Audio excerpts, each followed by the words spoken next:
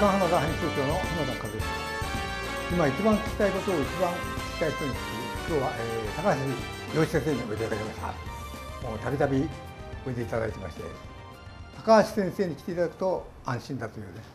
何聞いても即座に明快な答えがしていただけるというんです。安心しております今日はあの15日なんですけどもうすごい日ですね。解散風が吹いておりますけどどうなんでしょう？ちょっと前に16日っていうのがポイントだって言っててね、はい、まああのそれは17日から23日まで、まあ、あの天皇皇后があのインドネシアに行かれるんで。えーはい、でまあ、今までの洗礼であると、うん、その天皇にお言葉もらわなきゃいけないですからね、ね、ですからその日いらっしゃらない日はやらないっていうのがあるんで、うん、そういうのであのいろいろと予定組ん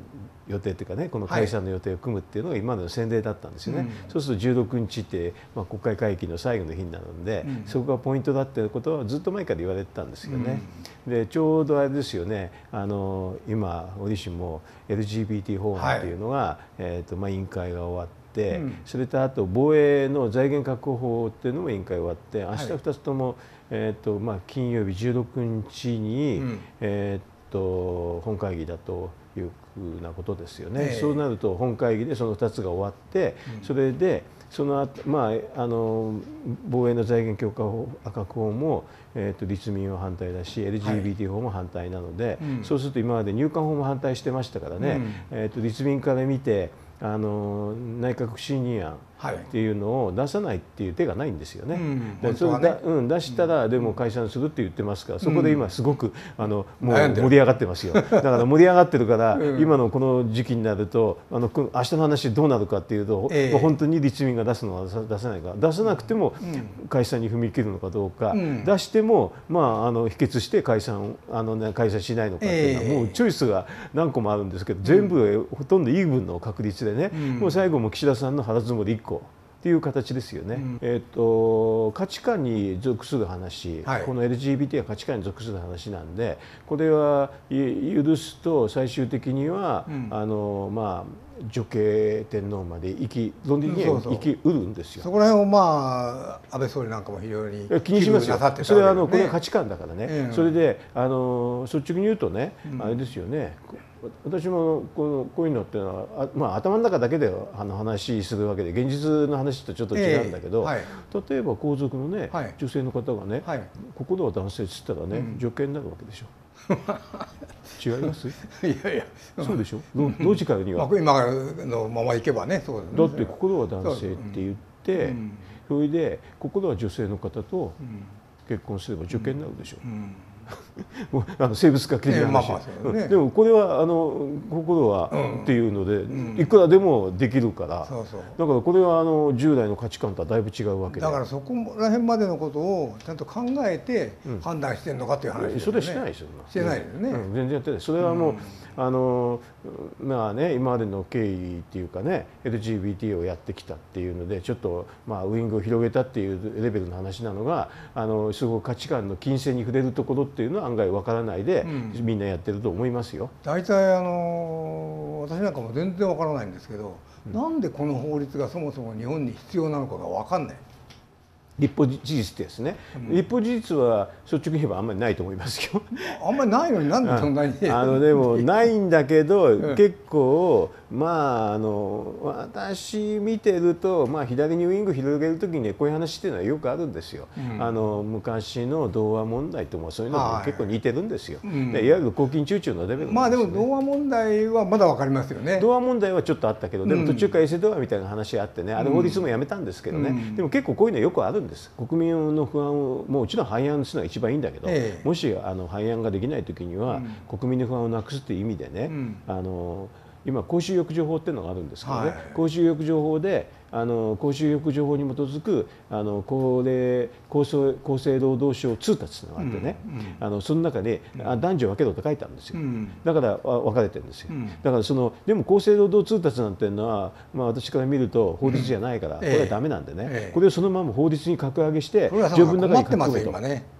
番台の人は困ってます。うん、だからぼぼ法律の書き込めばね、うん、それはそれでね、あのね、あのなんか心が女性ってきてもダメって言えるんですよ。うん、うん、だから今は通達だから、あのそれをね守る義務もあんまりないし、で正直言ってそれを破ったところで、おあその。あのペナルティも与えられないんだけどだからその公衆浴場法に基づく厚労省通達をね、法律化すればね、これはねダメですよって簡単に法律に書いてあります、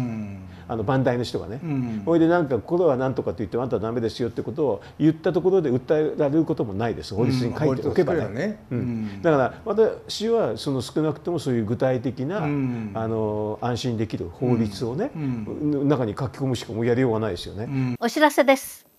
新番組今週の出来事が始まります。今週の多くのニュースの中から私がこれはと思うものを選んでニュースの真実を解説します。言論テレビの会員の皆様に毎週土曜日ホームページで配信です。ご期待ください。あの流れです流れいかん。ででひょっとしてコアの人が、あの離れると、いろんなとこ引き連れて、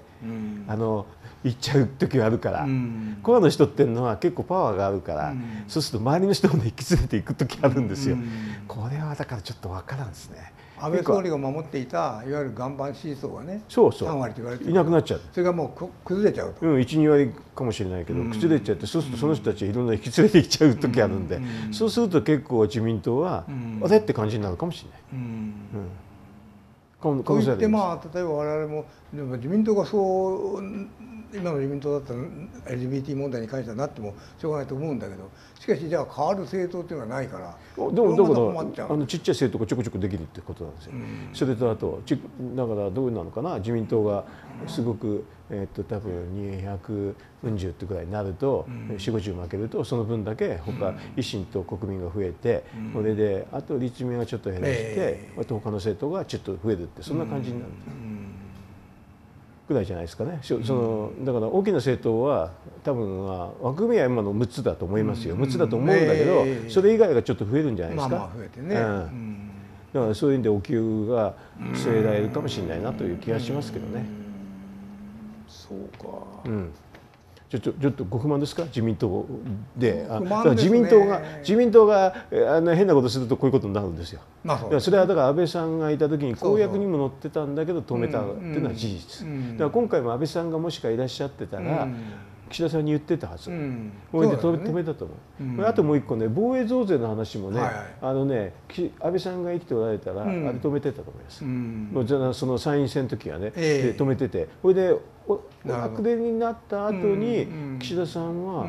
えー、っと官邸の中のね懇談会開いてね、うん、安倍さんの言ってるの全部否定してったもんね、うん、私はびっくりしたから私もね、だからある意味であれだよね。安倍さんが生きておられたら防衛増税の話もやめ。それであとあのこの LGBT も没にして、えー、で今株価が上がってるいい環境で非常にサミットの後のちょっと変な話は自分のね長男の話はしょうがないんですけどね、えー、いい環境で解散している可能性はある、うん。うん、そうすそれはだいぶ違う、うん、景色のような気がしますけどね。言論テレビから会員募集のご案内です。言論テレビは内外で起きているニュースを掘り下げそこから何が読み取れるか世界の動きの本質を探ります。日本国が今本当に100年に一度もしくは200年に一度の重大な危機に見舞われていてそして唯一の同盟国であるアメリカがもう確実に変わりつつある。そうです中国が確実に覇権主義に走っている。その中で日本国が一体どうやって生き残るのかというもう最も深刻な問題を突きつけられています。その時に問われるのは私たちがこの国をどのような国にするのか、はい、自力で国民を守り国土を守ることができる国にするのかどうか。そのためには何をしたらいいのか。一番明らかなのは憲法改正です。会員になっていただきますと櫻井キャスターの「君の一歩が明日を変えると」カナダ編集長の右向け右の動画をいつでもオンディマンドでご覧いただけます。さらに櫻井キャスターのメールマガジンや週刊誌などに発表するコラムもお読みいただけます。正会員登録は月々990円または1年で1万1000円です。桜井よし子と共に歩む桜会員も設けました。年会費は一口10万円です。正会員のサービスに加えて桜井キャスターの新刊本をサイン印でお送りいたします。感謝の集いなど言論テレビのイベントには無料でご招待いたします。皆様の入会を心からお待ちしています。詳しい情報は言論テレビのホームページをご覧ください。